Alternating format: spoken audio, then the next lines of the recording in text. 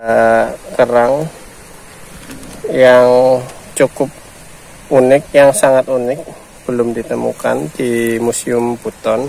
Dan yang terakhir ini ada capit kepiting yang sangat sempurna, tapi ya bagian tubuhnya sudah hilang. Ya teman-teman, uh, ini tadi sudah dua stop set yang kita datangi.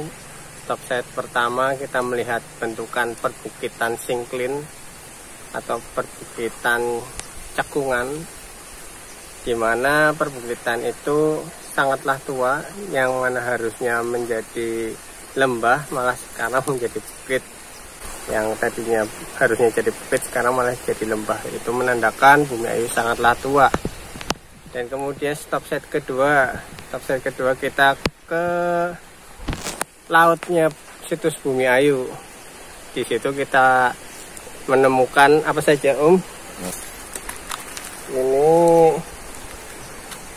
fosil gastropoda yang cukup besar.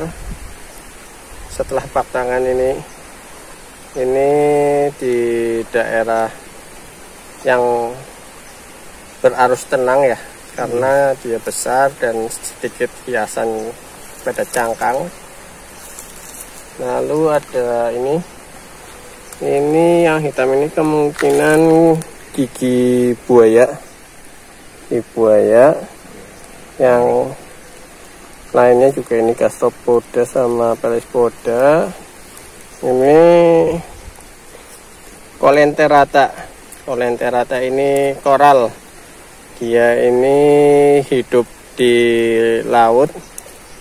Kalau jenis ini dia hidup secara apa uh, soliter ya bukan berkoloni hmm. Hmm.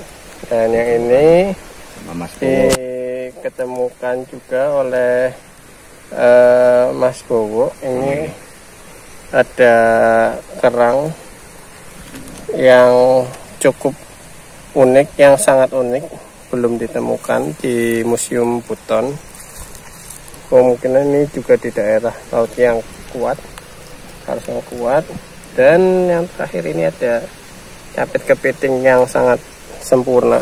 Tapi ya bagian tubuhnya sudah hilang. Ini kepiting laut. Ya. Itu beberapa penemuan fosil kita pada hari ini. Lanjutkan uh, terus ikuti perjalanan kita uh, ke stop set stop set selanjutnya di field trip selanjutnya Terima kasih.